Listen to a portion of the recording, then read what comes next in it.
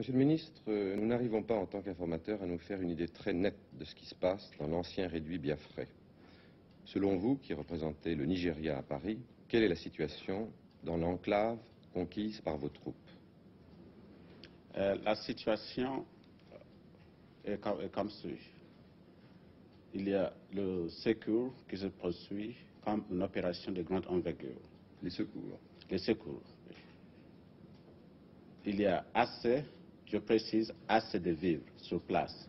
Ça veut dire les vivres que de, de population est manger.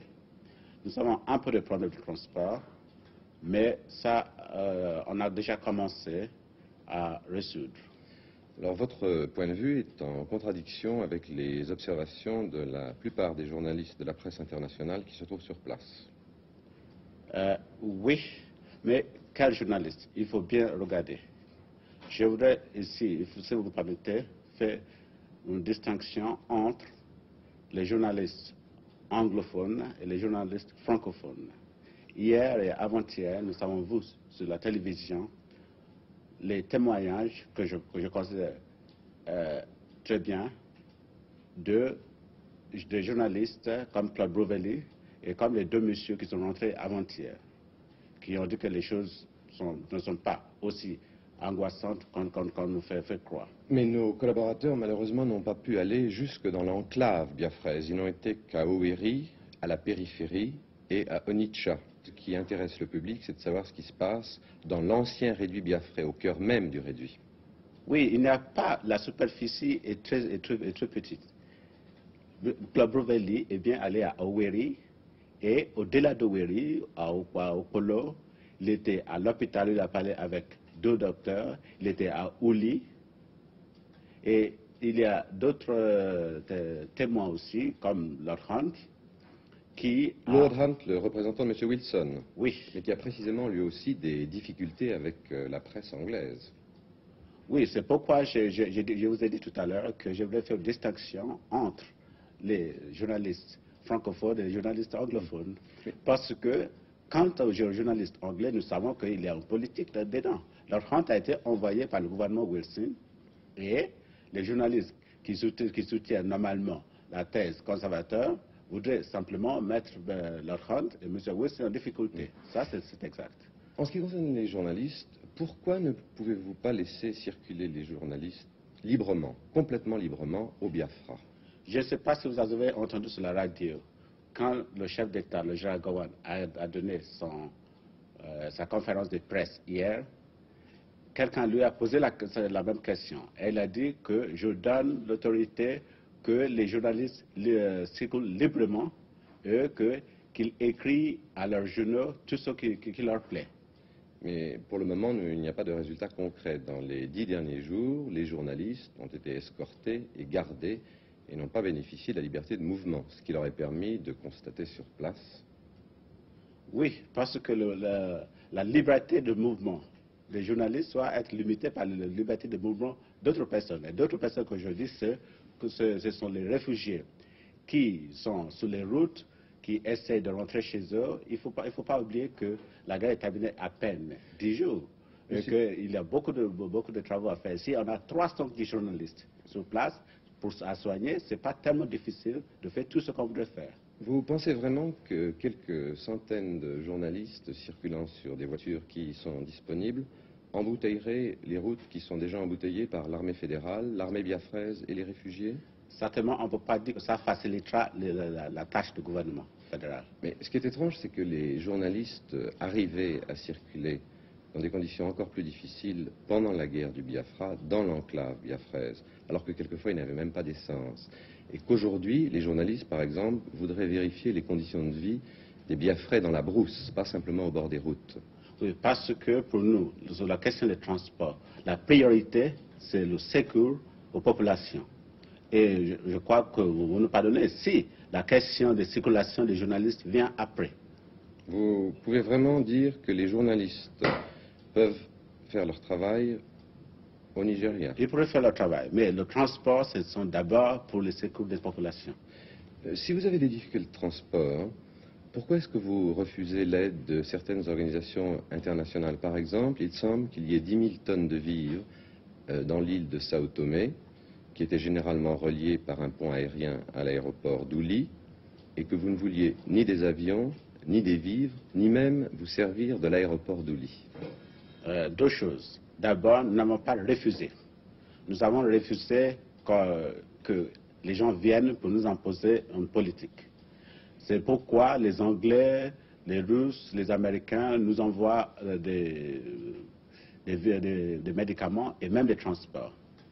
Sur la question de, milliers de tonnes de vivres qui restent sur Sao Tomé, comme je vous ai précisé tout à l'heure, il y a assez de vivres sur place. Et sur la question de Douli, euh, je ne sais pas si vous avez appris aussi que le gouvernement a décidé d'ouvrir les, aéroports de Porakou, de Calabar et d'Enugur pour, pour simplement, purement et simplement pour la question de sécurité. La question d'Ouli, je dois vous dire, d'abord, Ouli n'est pas dans une situation assez satisfaisante pour les vols. Deuxièmement, le monde... Les, le, monde, les Dakota s'y posaient pendant toute la guerre. Oui, mais depuis, il, y a eu des bombardements. Mais deuxièmement, qui est plus important pour nous, Monsieur le ministre, il y a eu des bombardements, mais d'après ce que j'ai compris, un avion euh, portant une haute personnalité nigériane s'est posé à Ouli euh, hier et avant-hier. Mais quelle partie d'Ouli? Ouli fait 20 km, comme vous savez. C'est un très grand aéroport, en fait. Exactement. Mais pour nous aussi, il s'agit d'une question de politique. Parce que Ouli a été fait l'objet d'une politique internationale. Il nous paraît que les gens voudraient absolument nous dire ce qu'on doit faire avec nos aéroports. Euh, euh, ces trois aéroports doivent largement euh, suffisants. Vous n'avez pas l'impression que vous faites passer le symbolisme et la politique avant l'humanitarisme, là, en refusant d'utiliser Ouli, qui est au cœur du réduit Biafrais Pourquoi Ouli? Ouli n'est pas, pas, tellement, pas tellement plus... Ce qui importe, c'est que les secours soient efficaces. Et nous, nous sommes satisfaits. Est-ce que, nous, pourrons le faire sans utiliser l'outil. Est-ce que vous êtes également euh, satisfait en ce qui concerne le personnel euh, sanitaire? Le personnel sanitaire Quel personnel sanitaire? Les médecins, les infirmiers, vous estimez qu'il y en a assez? Euh, N'importe où en Afrique, il n'y a jamais assez de médecins et des infirmiers. Et c'est pourquoi nous avons envoyé tous nos, médecins de, d'autres parties de la fédération qui, restent il y a eu des, médecins qui sont arrivés déjà de, l'Angleterre. Il y a ceux qui arrivent de, l'Amérique et de partout. Mais il y avait au Biafra euh, du personnel volontaire, y compris euh, six médecins français, un très grand nombre euh, de représentants des organisations charitables chrétiennes. Nous croyons savoir que certains d'entre eux sont en garde à vue. Quel est le statut des médecins français qui sont tombés dans les mains des forces fédérales nigérianes aujourd'hui?